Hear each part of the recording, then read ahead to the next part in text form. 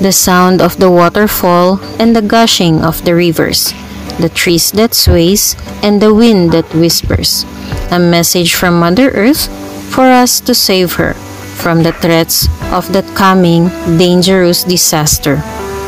Floods, landslides, and climate change. We kept saying that it is beyond our range. The damages, the destructions, and the loss, we always believe it is nature's cause.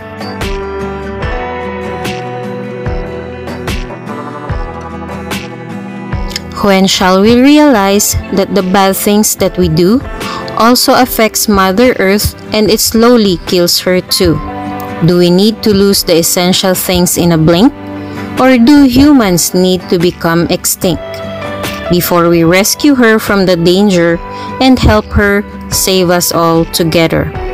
Let us be responsible as her caretaker so she can cater our children and live longer.